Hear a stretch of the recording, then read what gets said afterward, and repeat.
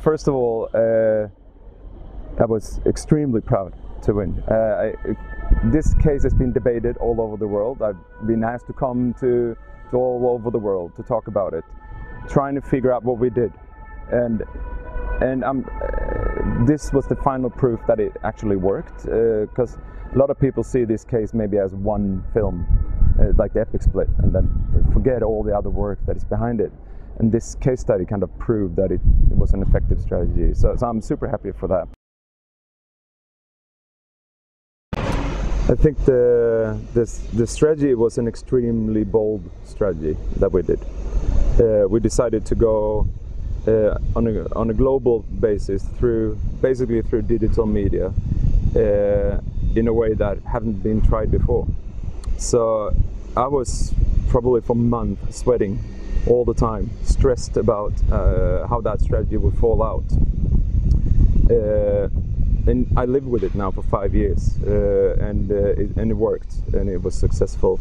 And I think that kind of makes it every, the whole strategy and then the whole case a lot easier. It's a constant battle. Uh, it's it's very difficult to to get that. Uh, I think it gets a little bit easier when you're on uh, digital platforms most of the time because uh, you can track that down. You can you can find what you can follow what the story what what happened.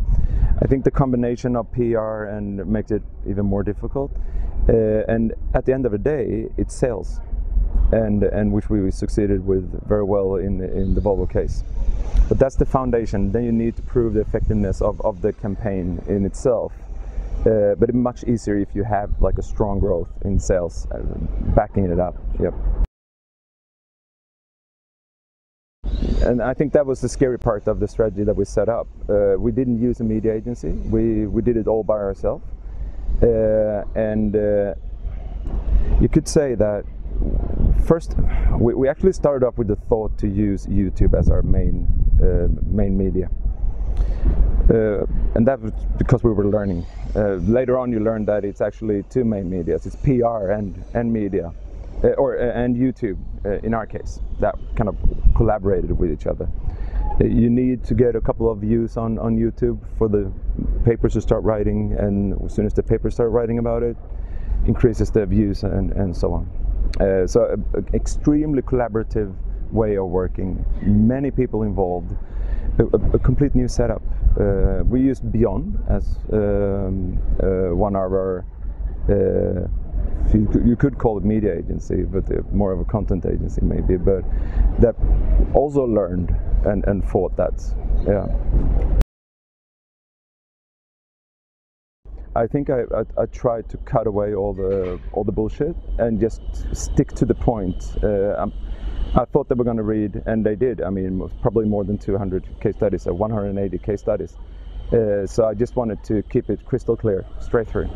And with, with good uh, good results, you don't need to like work so much. You uh, you can go pretty much straight into the case.